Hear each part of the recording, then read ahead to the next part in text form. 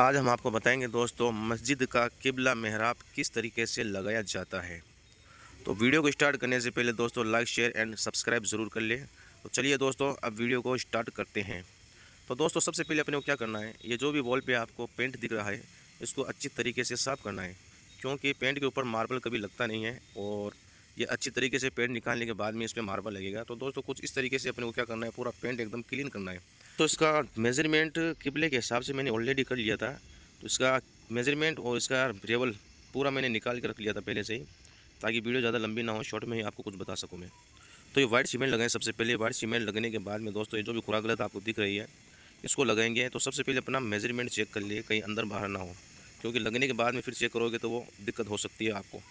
तो ये हथौड़ी की मदद से एकदम अच्छा से इसको मार के एकदम रेवल में ला देंगे। ये तो लगभग खुराक गलत अपनी लग चुकी है दोस्तों। अब क्या करना है अपने को? इसके ऊपर मार्किंग करना है।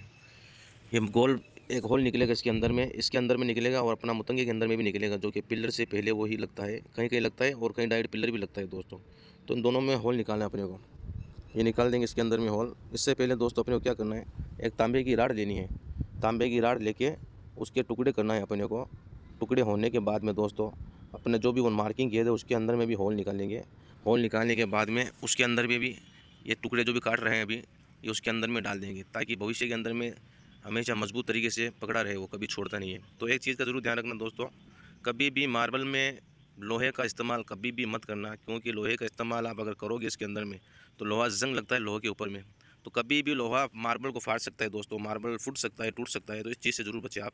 तो यहाँ अपन क्या करेंगे एरल लेंगे। तो ये दोस्तों एरल लिया है मैंने, इसको गाढ़ा करने के लिए सीमेंट की भी, सीमेंट भी मिक्स किया है मैंने इसके अंदर में। तो ये गाढ़ा हो गया ताकि जोंटों के अंदर ना निकले ये। तो ये जो क्लिप लिए थे, ये तांबे की राड इसके अंदर में डालना है। और ये अपना टीनेक्स बोल कर केमिकल है दोस्तों, जो कि मार्बल में यूज़ किया जाता है। इसको भी पूरा मिलाने के बाद में यहाँ सेट कर देंगे इसके ऊपर में।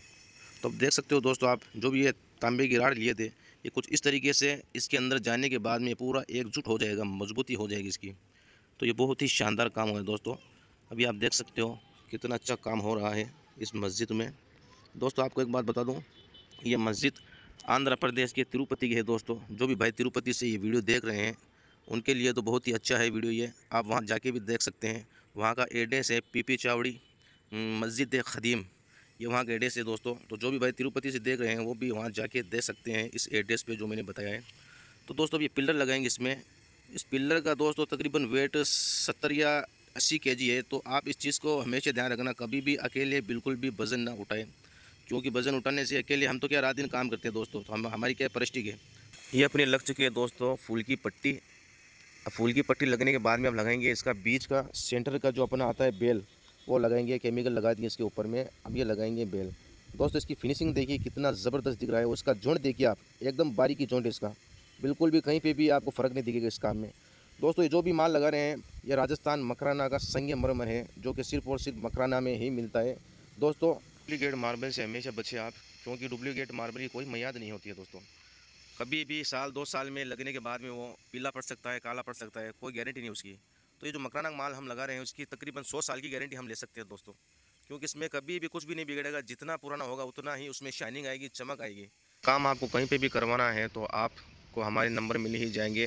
वीडियो के लास्ट में स्क्रीन पर मिल जाएँगे, और आप डिस्क्रिप्शन पर भी जाके हमारे नंबर ले सकते हैं दोस्तों। वीडियो कैसी लग रही है दोस्तों आपको? वीडियो को लाइक शेयर एंड सब्सक्राइब ज़रूर करते रहें, ताकि आगे से आगे वीडियो हम आपको अच्छी से अच्छी वीडियो लाके दे सके दोस्तों। दोस्तों, इस वीडियो में जो आप देख रहे हैं जॉइंट वगैरह तो ये जॉइंट तो दोस्तों मैं अपने कारखाने में ही पूरा कंप्लीट कर दिया था इसको। जॉइंट वगैरह पूरा एकदम क्लीन करके निकाल दिया था, ताकि यहाँ फिटिंग करने में ज़्यादा दिक्कत ना आए। तो दोस्तों, इस वर्किंग में टोटल वर्किंग में हमें तकरीबन चार दिन लगा था इसके अंदर में। चार दिन के अंदर में पूरा कंप्लीट कर दिया था हमने। तो दोस्तों, सिर्फ़ दो ही वर्कर्स थे हम को ज़्यादा नहीं थे। दो वर्कर्स मिलकर ही पूरा काम को अंजाम दिया हमने। ये काम यहाँ लगभग हो चुका है अपना। सबसे ऊपर का आइटम और रह गया, जिसमें कलमा भी है दुरू शरीफ भी है। अब ये लगा रहे हैं हम ऊपर की पट्टी, बेल की पट्टी। तो ये अपना जो फूल की पट्टी आ रही है तो ऑलरेडी लगा दिया था हमने। अब ऊपर की बेल की पट्टी और लगानी इसकी।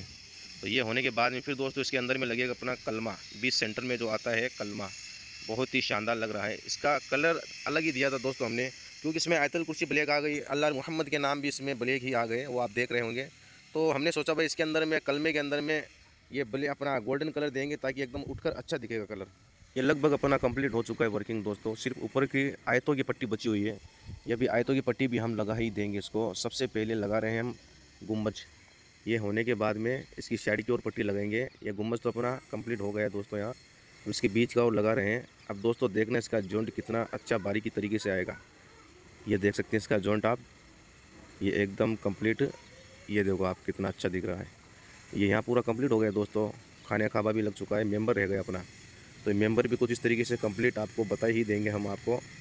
क्योंकि वीडियो ज़्यादा हो रही थी दोस्तों, इसीलिए वीडियो को शॉर्ट करने के चक्कर में हमने पूरा कंप्लीट बता दिया आपको।